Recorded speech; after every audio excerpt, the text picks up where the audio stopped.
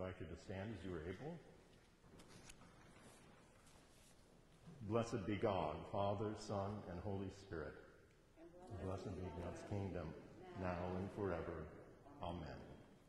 Almighty God, to you all hearts are open, all desires known, and from you no secrets are hid. Cleanse the thoughts of our hearts by the inspiration of your Holy Spirit, that we may perfectly love you and worthily magnify your holy name through Christ our Lord. The Lord be with you. Let us pray. Gracious God, throughout the ages you transform sickness into health and death into life. Open us to the power of your presence and make us as a people ready to proclaim your promises to the whole world through Jesus Christ, our healer, our brother, and our friend. Amen. Let's be seated for the word of Scripture.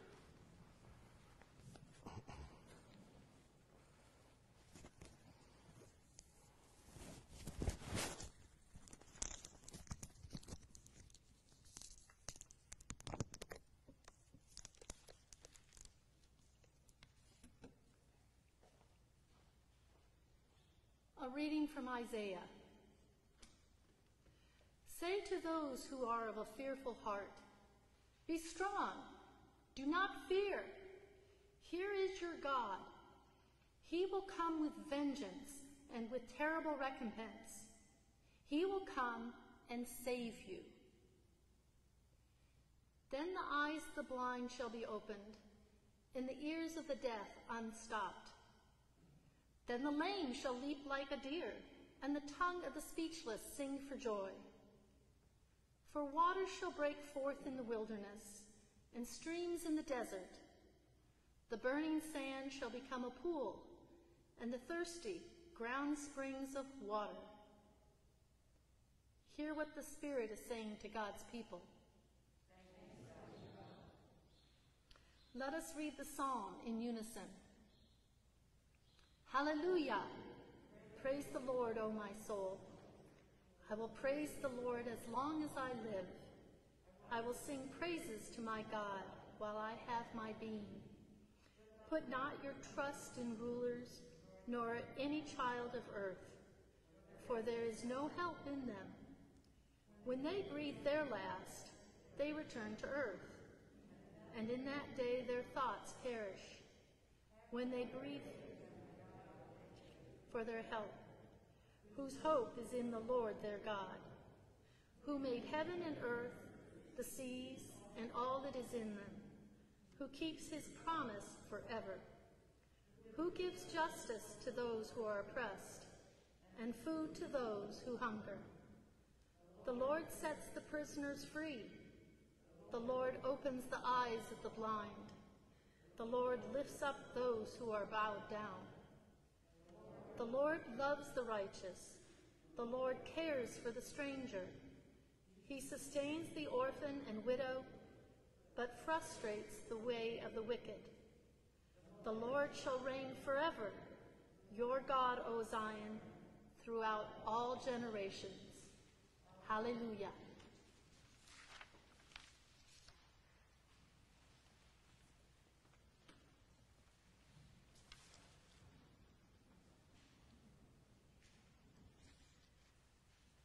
The Gospel of our Lord Jesus Christ according to Mark. Glory to you, Lord Christ. Jesus set out and went away to the region of Tyre. He entered a house and did not want anyone to know he was there. Yet he could not escape notice. A woman whose little daughter had an unclean spirit immediately heard about him, and she came and bowed down at his feet. Now the woman was a Gentile of Syrophoenician origin. She begged him to cast the demon out of her daughter. He said to her, Let the children be fed first, for it is not fair to take the children's food and throw it to the dogs. But she answered him, Sir, even the dogs under the table eat the children's crumbs. Then he said to her, For saying that, You may go. The demon has left your daughter. So she went home, found the child lying on the bed, and the demon gone. Then he returned from the region of Tyre and went by way of Sidon toward the Sea of Galilee in the region of the Decapolis. They brought to him a deaf man who had an impediment in his speech, and they begged him to lay his hand on him. He took him aside in private, away from the crowd, and put his fingers into his ears, and he spat and touched his tongue. Then looking into heaven, he sighed and he said to him, Ephphatha, that is, be opened. And immediately his ears were opened, his tongue was released, and he spoke plainly. Then Jesus ordered them to tell no one. But the more he ordered them, the more zealously they proclaimed it. They were astounded beyond measure saying he has done everything well. He even makes the deaf to hear and the mute to speak. The Gospel of the Lord. Praise to you, Lord Christ.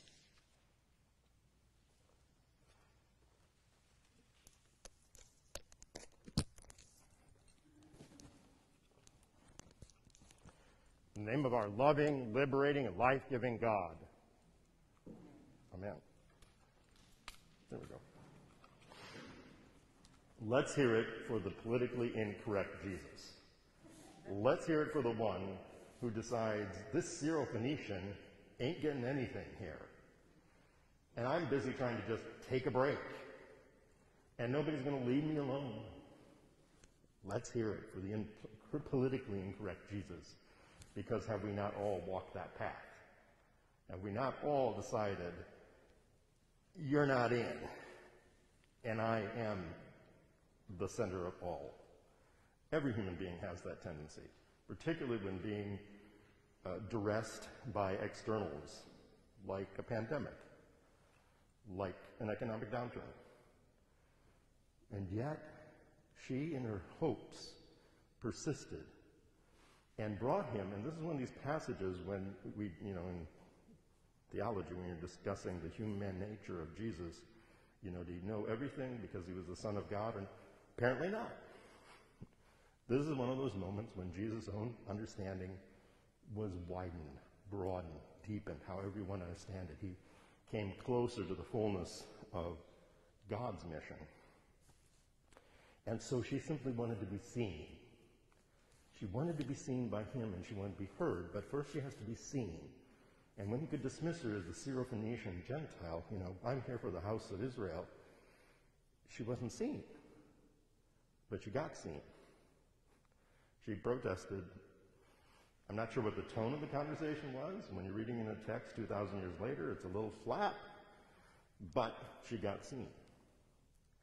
Last week we celebrated with our bishop, uh, last visitation here, and several other things, but in our sermon session, our table conversations, there was a lot of conversation. And one of the threads out of that conversation for me was people talked about it's good to see you. It's good to be seen. It's good to be here. And that's one of the gifts of community. It's also one of the challenges to be sure that we're still seeing somebody and not let it drift into older, slightly out of date perceptions. The activity of seeing someone is intentional and continuous, and it's a work of the Spirit. And it's enough to just kind of keep us together here, especially um, in this, pan- wherever we are in the pandemic. we thought we were going to be one place, we're not quite there. And yet, we know what it is to see each other. That's the invitation of the gospel. That's when healing and transformation in people's lives really happens when we see them.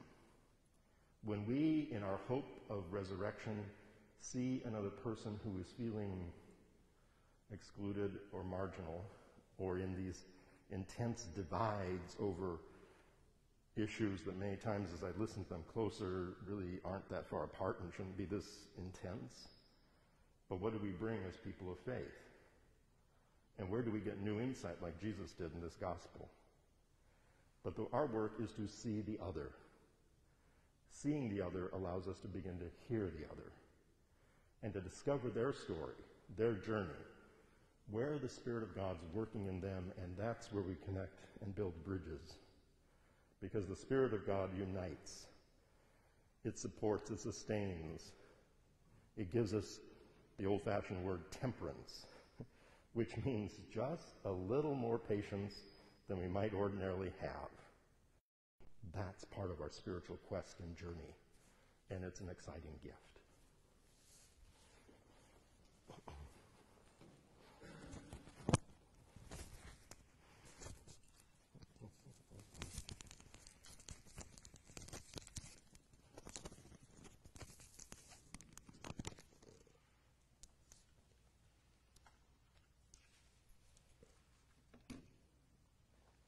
Standing as you are able, let us confess our faith with the Nicene Creed. We believe in one God, the Father, the Almighty, maker of heaven and earth, of all that is seen and unseen. We believe in one Lord, Jesus Christ, the only Son of God, eternally begotten of the Father, God from God, light from light, true God from true God, begotten, not made, of one being with the Father. Through him all things were made. For us and for our salvation, he came down from heaven. By the power of the Holy Spirit, he became incarnate from the Virgin Mary and was made man. For our sake, he was crucified under Pontius Pilate. He suffered death and was buried. On the third day, he rose again in accordance with the Scriptures. He ascended into heaven and is seated at the right hand of the Father. He will come again in glory to judge the living and the dead, and his kingdom will have no end. We believe in the Holy Spirit, the Lord, the giver of life, who proceeds from the Father and the Son. With the Father and the Son, he is worshiped and glorified. He has spoken through the prophets. We believe in one holy, Catholic, and Apostolic Church. We acknowledge one baptism for the forgiveness of sins. We look for the resurrection of the dead and the life of the world to come. Amen. Let us pray for the church and for the world.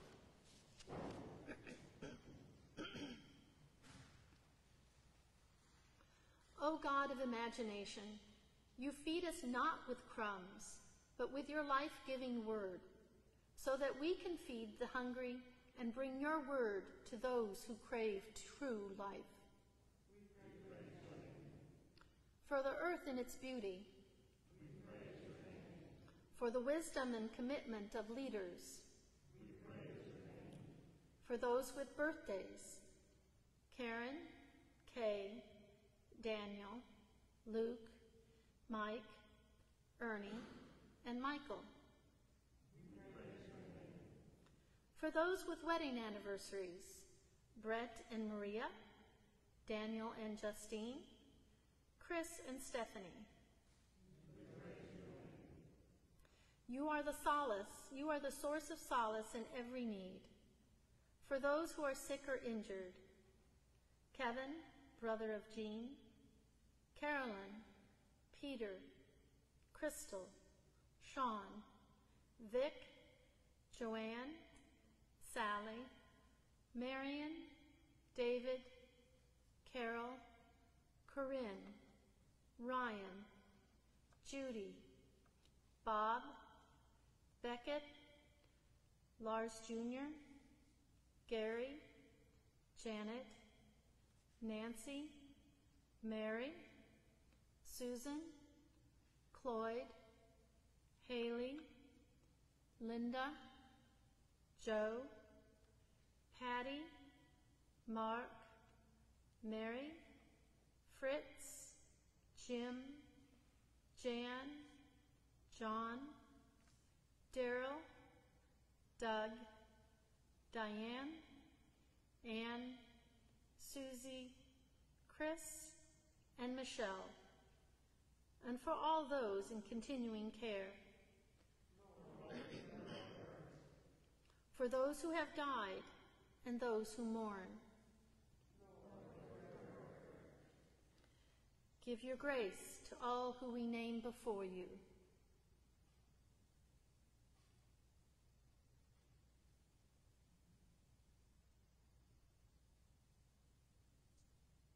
Lord,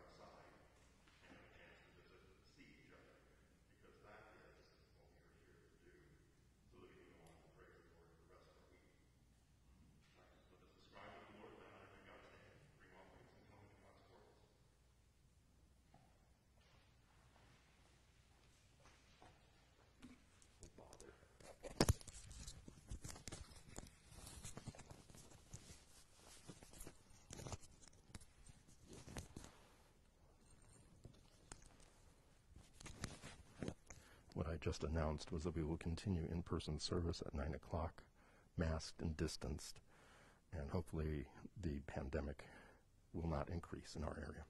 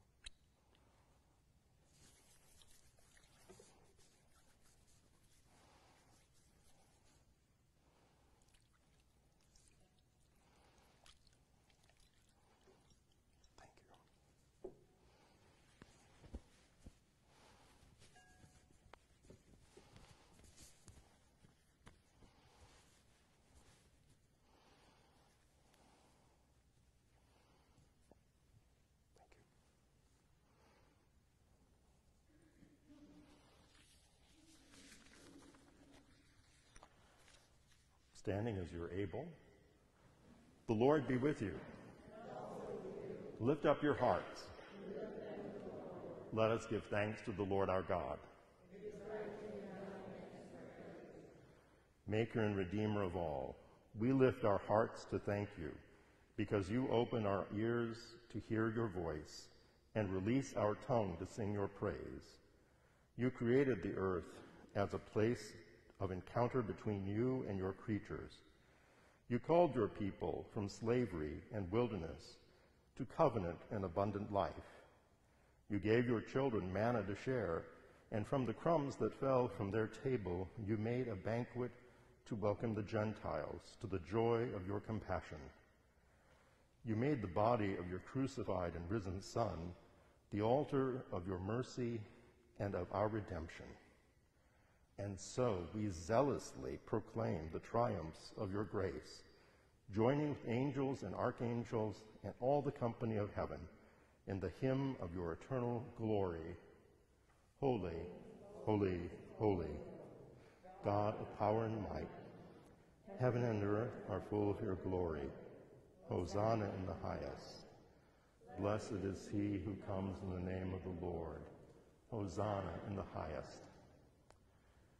Life giving God, you share your bread with the poor, and you make this banquet the place where we are united as one body in your Son through the power of your Spirit.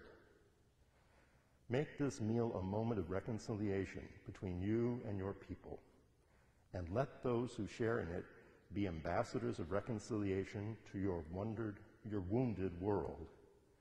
Send your Spirit upon this bread and this cup, that they may be for us the body and blood of your Son, our Lord Jesus Christ, who at supper with his disciples took bread, gave you thanks, broke the bread, gave it to his disciples, and said, Take, eat. This is my body, which is given for you. Do this in remembrance of me.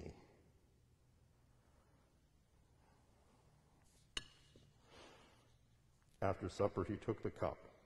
Again, he gave you thanks, gave it to his disciples, and said, Drink this, all of you. This is my blood of the new covenant, which is shed for you and for all for the forgiveness of sin. Whenever you do this, do this for the remembrance of me.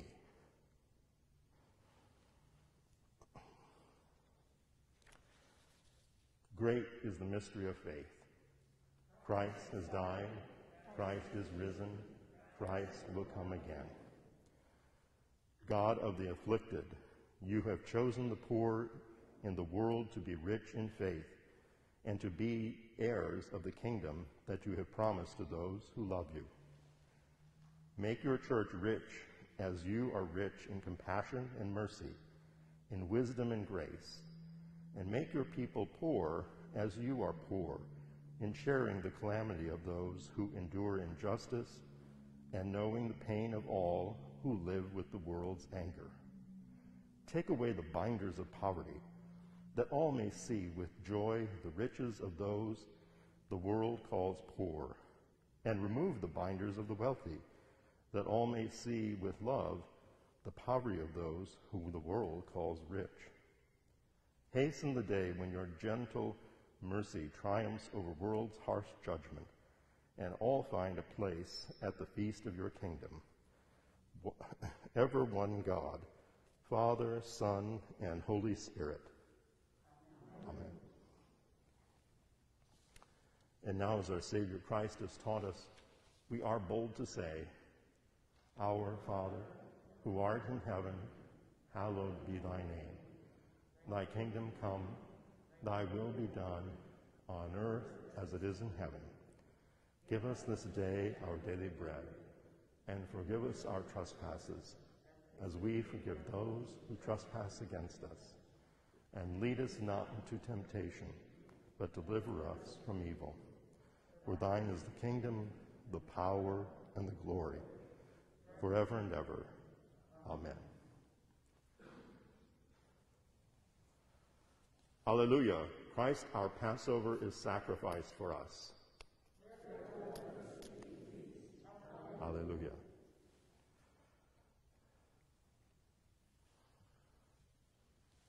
The gifts of God for the people of God. Take them in remembrance that Christ died for you, and feed on them in your hearts by faith, with thanksgiving.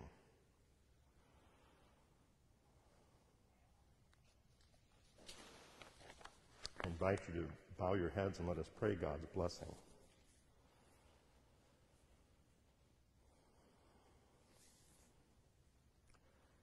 As you loose the tongue of the man who could not speak and who could not hear, loose our hearts and imaginations to see you in the world around us, to see others who bring the gift of your Spirit to us, and fill us with the joy of learning more how wonderful your kingdom is.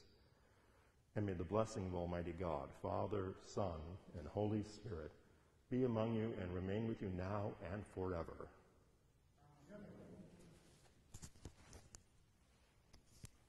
Let us go forth into the world rejoicing in the power of the Spirit. Alleluia, Alleluia.